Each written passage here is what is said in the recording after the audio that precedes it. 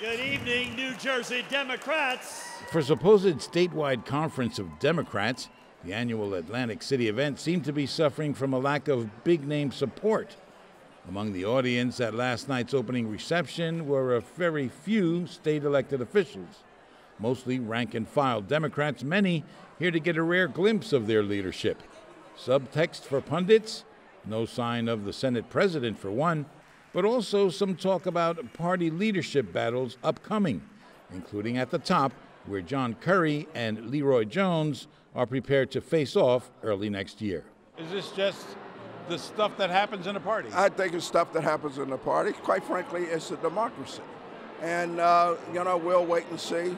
You know, everyone is entitled to that opportunity. Well, I would agree with him. Uh, you know, this is a democracy, and this is the process that uh, you know we would go through. Uh, you know, let, let me be frank about this. Uh, you know, I have the utmost respect for John Currie. I always did, always will.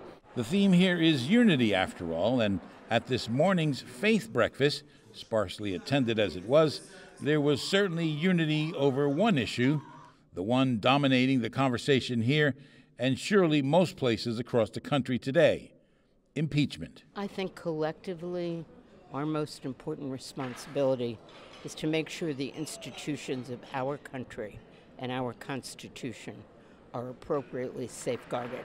That is more important than protecting whatever incumbent or whatever challenger.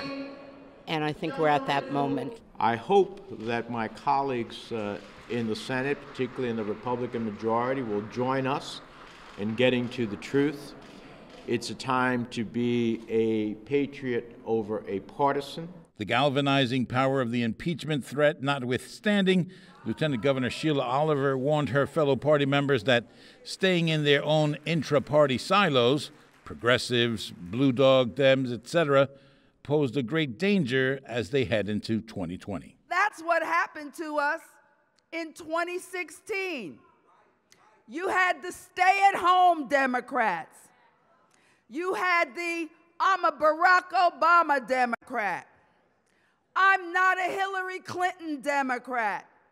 And Democrats, when you stayed home and did that, not just in New Jersey, but all over this country, when you did that, you got what you have sitting in 1600 Pennsylvania Avenue.